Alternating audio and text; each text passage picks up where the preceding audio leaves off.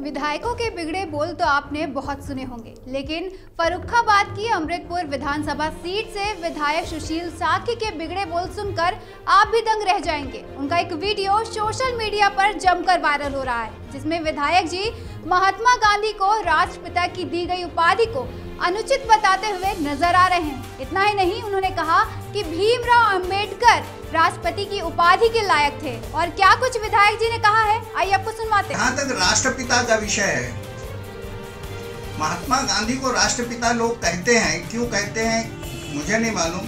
किसने पदवी दी, मुझे नहीं मालूम। लेकिन अगर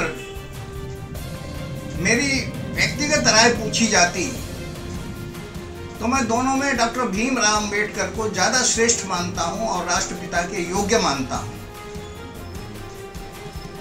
क्योंकि उन्होंने निर्बल वर्गों को उठाने की बात की है। समाज में समता लाने की बात की है। इसलिए महापुरुष के नाते मैं दोनों का सम्मान करता हूँ। लेकिन अपनी व्यक्तिगत रूप से मैं डॉक्टर भीमराव अंबेडकर को राष्ट्रपिता के योग्य मानता हूँ। राष्ट्रपिता की पदवी कहाँ दी, किसने दी, इसका आज तक कोई इतिहास नहीं मिलता है।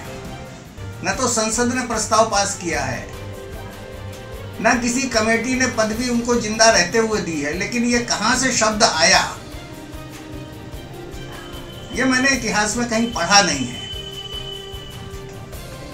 महात्मा गांधी ने जन आंदोलन बताया, स्वतंत्रता के आंदोलन को जन आंदोलन बनाया।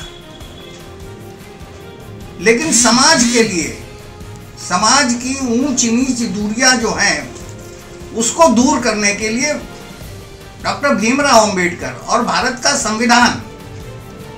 ये बनाने के लिए मैं डॉक्टर अंबेडकर को श्रेष्ठ मानता हूँ।